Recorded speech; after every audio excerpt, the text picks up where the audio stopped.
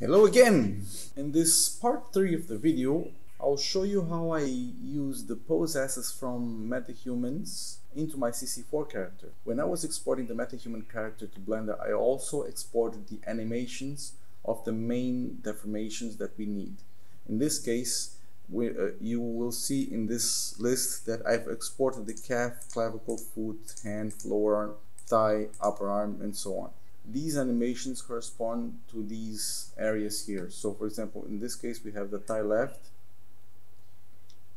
These are the animations created for the metahumans. You can see that, that the bones are deforming and moving around, especially to try and keep the volume in these areas. And we're going to use the same animations onto our own character. I've already prepared the blend file that has the animations, which is this one.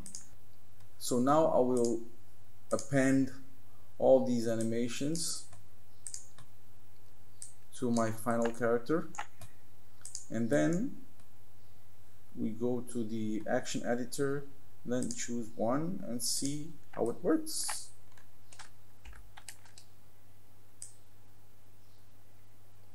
Everything seems to be working okay. Let me choose another one for example the upper arm left upper arm.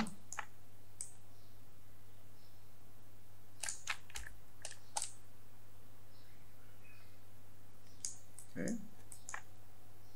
The thighs.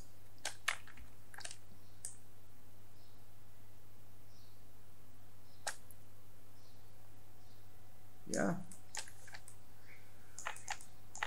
The next process will be a bit a bit time consuming. So I'll pause the video and then I'll get back to you. That's that's because now I, I will want to go in to each of the animations and just and just fine tune them for my character. For example I for example here I feel that it needs to be something like this just so that I could keep the volume as much as possible and so on and so forth.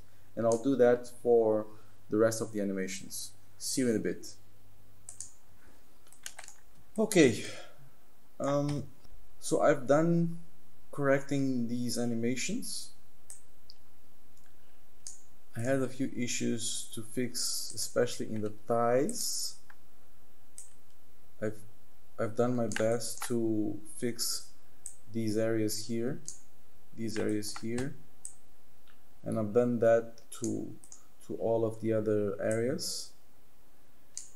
And yeah now the next part is to just export this to Unreal and configure the pose driver from there. I'm gonna do that in a separate video so I'll finish this one up for now.